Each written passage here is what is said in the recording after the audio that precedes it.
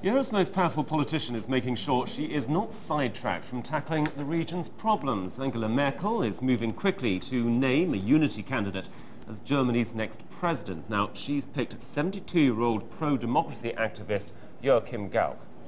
The Protestant pastor helped open up secret police files after the fall of the Berlin Wall.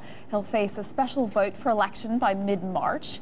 It's his second time in the running in under two years after being beaten by Merkel's nominee Christian Wulff in 2010. Wulff quit on Friday ahead of an investigation into allegations he took illicit benefits, something that he denied.